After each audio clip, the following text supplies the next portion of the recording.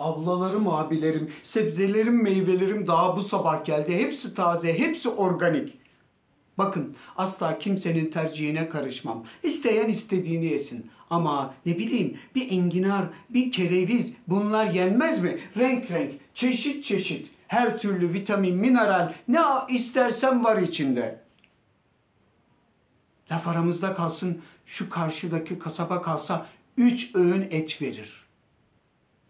Sabahtan akşama küçük bir buzağı götürürler. Ama olmaz ki efendim. Yemek insanın kart vizitidir, karakteridir.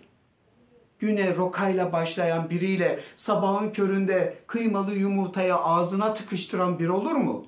İsot canavarı bunlar. Meyve vereyim mi? Kiraz, muz, kivi. Al doğra. Al doğra.